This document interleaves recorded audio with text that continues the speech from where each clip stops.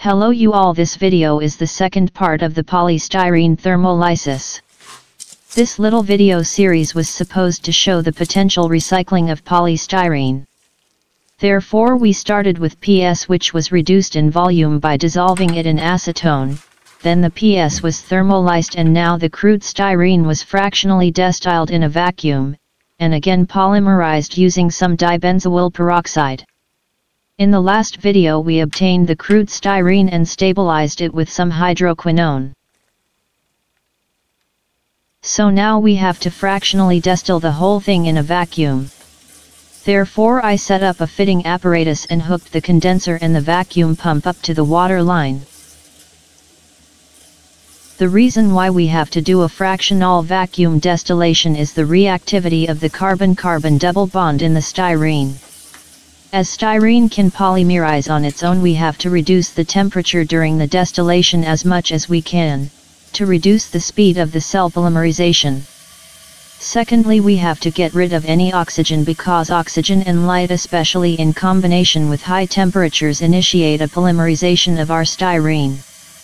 So that explains why we have to do a vacuum distillation, but why a fractional vacuum distillation? That is easy to explain due to the process we used, the thermolysis. We have some impurities that came from pyrolysis reactions that occurred due to high temperatures. Examples for such impurities are benzene toluene and many others, all of them have a boiling point near to that of styrene and some even form a azeotrope.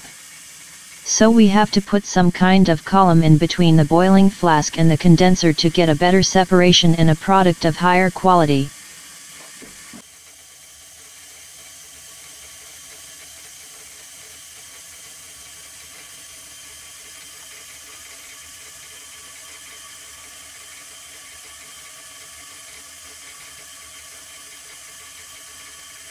The first fraction came over from 25 degrees Celsius and I distilled further until it got over 35 degrees Celsius. Up until this moment there was no clean fraction, this can be seen at the density blurs new distillate makes when it hits the old one. But after the first fraction there was a bigger one just under 37 degrees Celsius.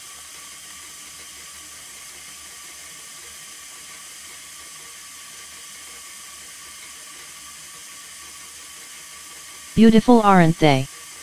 Beautiful but, carcinogenic.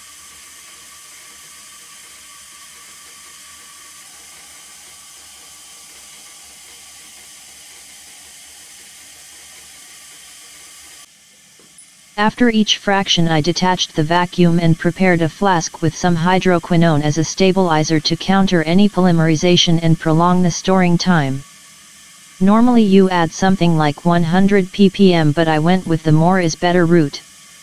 So as the temperature increased I stopped the distillation and filled the fraction in my prepared 50 ml flask and put it aside.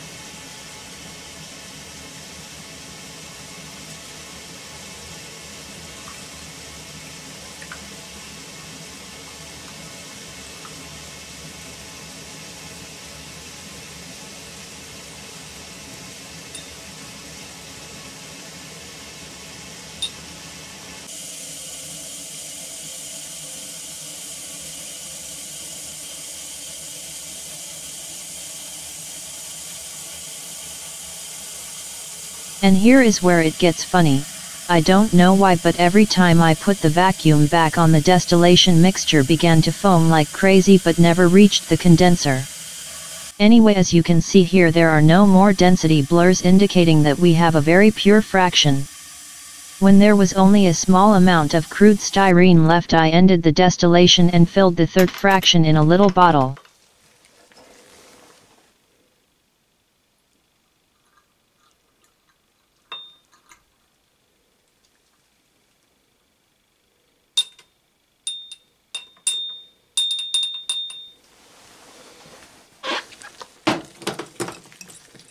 And as always I added some hydroquinone to stabilize it.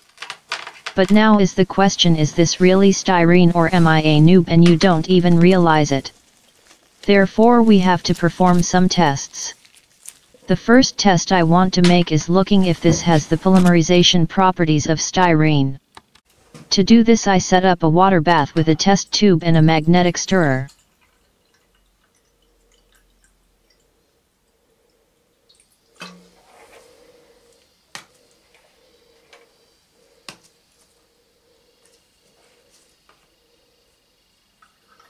And then add some of the potential styrene into the test tube, but keep in mind this stuff does not have the 100% reactivity due to the already added hydroquinone. To the product we add some of the dibenzoyl peroxide we made in a earlier video, that is currently only on BitChute due to the strike I got, link to it is in the video description.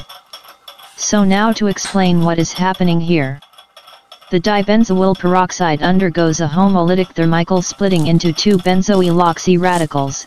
These benzoyl radicals then decompose under CO2 elimination and form two phenyl radicals. The phenyl radicals then act as initiator for the radical polymerization between the alkene functions. And if you want to say it like this, it increases the speed of the overall polymerization that is going on in the styrene that increases the chain length drastically.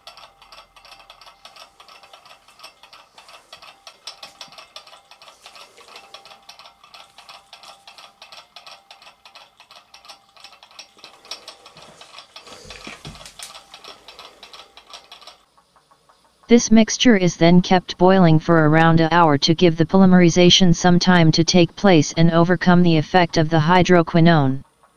Meanwhile we have some time to do another test to determine whether it really is styrene. Therefore we measure the weight and the temperature of our considered styrene to get the density of the product. So I got my fancy new scale out and a 10 ml pipette and transferred the 10 ml onto the scale.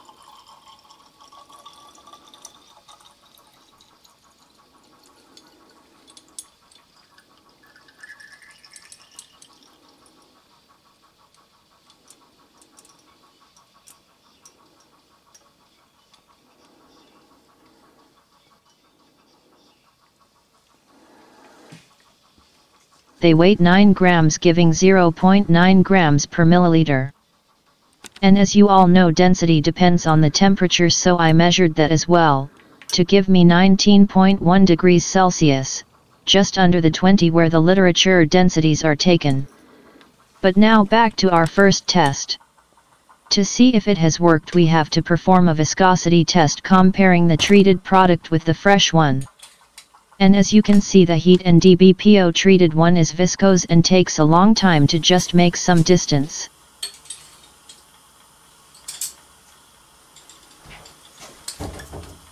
And now the fresh product.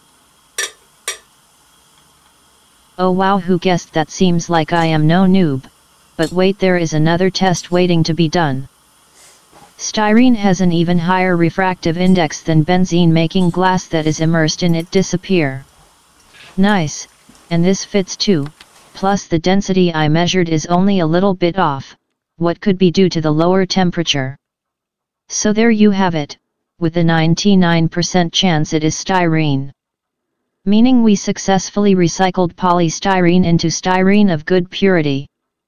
I hope you liked this video have a nice one and have fun and do not kill yourself.